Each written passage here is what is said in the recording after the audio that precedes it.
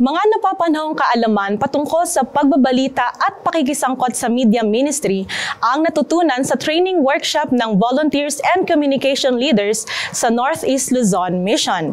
Ang nasabing pagsasanay ay inisyatibo ng NELM Communication Department sa layuning patuloy na paunlarin ang paglilingkod ng mga Adventistang miyembro sa larangan ng media.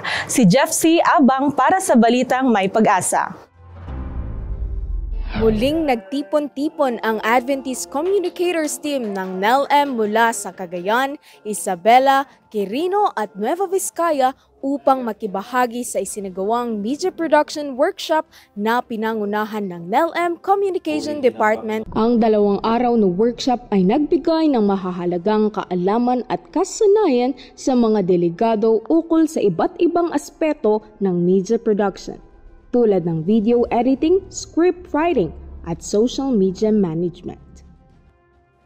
Layunin ng training na ito na ang mga delegates ay inaasahang uunlad ang kanilang awareness tungkol sa paggawa ng balita na naaayon sa Christian values. Sila ay maging mas masigasig na makisangkot sa mga media-related activities ng ating church, lalong-lalo na sa pag-ebanghelyo. Ito ay pinangunahan ni na Dr. Janet Borromeo, isang retired English major teacher, Sir Solomon Caris, media personnel ng NLM, at Brother Genesis Brown Mark Suryaga, isang veteranong missionary social media influencer. I am so blessed, grateful, and happy. Thank you, Lord, for the privilege to serve you.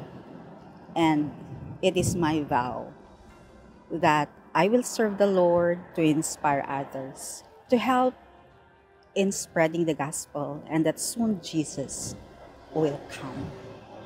Bukod sa mga teknikal na pagsasanay, nagkaroon din ng mga sesyon na nakatuon sa espiritual na aspeto ng media ministry na nagbigay inspirasyon at pagpapalalim sa pananampalataya ng mga kalahok. Super blessed po ako na nakadalo po ako dito sa sa media ministry workshop and seminar kasi first time ko lang din po to na umattend sa mga gantong seminar and super ang dami ko pong nag-gain na knowledge na hindi ko lang po pwedeng gamitin sa school kundi magagamit ko din po to sa pagsaserve kay Lord. Marami ako natutunan na maaari ko pong i-share sa kanila at maaari ko pong ituro para po may mga kasama din ako na gumawa ng mga news sa mga events po na gaganapin sa mga district and area po.